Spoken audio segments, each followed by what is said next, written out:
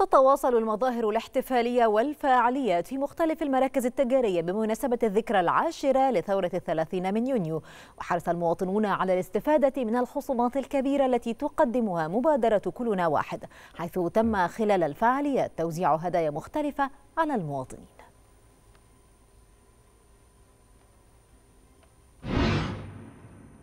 ذكرى جميلة وإحنا بنحتفل بيها بشكل خاص لأن طبعا يعني ما مدى أهمية ذكرى الثورة ديت يعني مترسخ في نفوسنا وما توصل وال- والحال اللي إحنا توصلنا إليه بفضل الله سبحانه وتعالى وبنعمل آه، مشاركة مننا لجميع ال- ال- الشعب المصري وجميع المواطنين إن هم شرفونا.